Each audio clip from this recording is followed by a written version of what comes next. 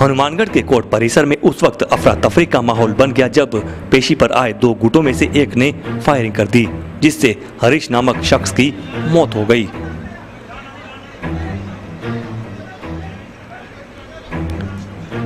दरअसल, हनुमानगढ़ की ADJ court में सोमवार को दो पक्ष तारीख पेशी पर आए हुए थे। इन दोनों पक्षों का मारपीट का एक मामला कोर्ट में चल रहा है। बताया जाता है कि इसी बीच एक पक्ष के महंता सिंह और दविंदर ने हरीश नामक एक गवाह पर गोली चला दी।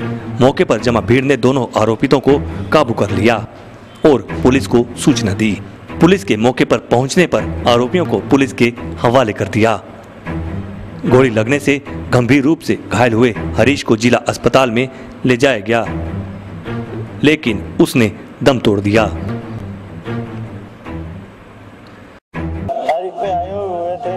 जैसे कोर्ट में बढ़ने लगे तो सुरेशिया से रानी का लड़का ममता सिंह ज्वाला सिंह का धर्मेंद्र आते ही गोली चला दी और हरीश कुमार के पेट में लगी।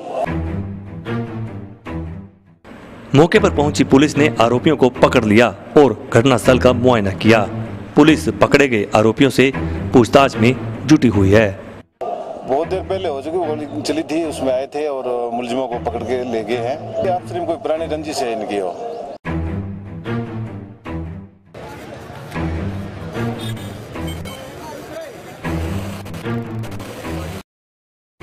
दिन दिहाड़े हुए इस घटनाक्रम से आमजन में दहशत का माहौल है। वहीं इस घटना ने कोर्ट परिसर की सुरक्षा व्यवस्था पर भी सवालिया निशान लगा दिया है।